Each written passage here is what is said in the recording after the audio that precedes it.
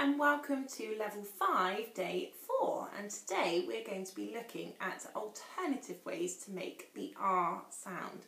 Now we already know R as in arm and today we're going to be looking at R as in arm, R as in palm and R as in father. And they look a little bit like this. R as in arm, R as in palm, R as in father. Very good. Now I've got some sentences for you to read today and some very special reading glasses. And they're extra big so I can check your extra big brains. Are you ready? I'm going to hold it up and I'd like you to pause the screen and have a go reading this by yourself. Off you go.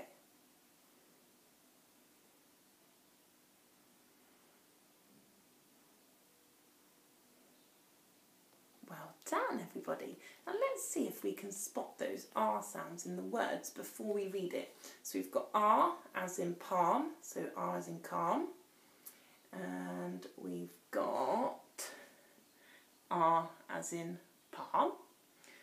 And we've got, and that's it in this one. So hopefully you've read, it was a calm day and I sat under the palm tree and looked at the wonderful blue sky. That is a really lovely sentence. Maybe you could write a sentence like that at home. It was a calm day and I sat under the palm tree and looked at the wonderful blue sky. That sounds really lovely.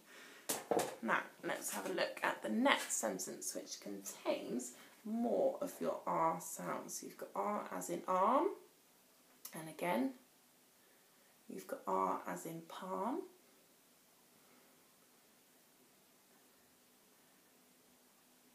And then you've got R as in father at the bottom. Now let's see if you can read this sentence. So you're going to pause that.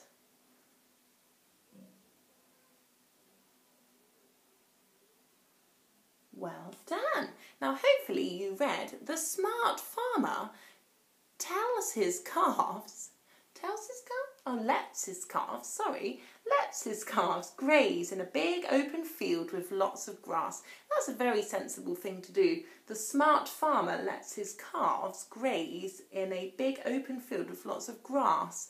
Well done, everybody. That really is fantastic. Now keep up the hard work and hopefully I'll see you again tomorrow.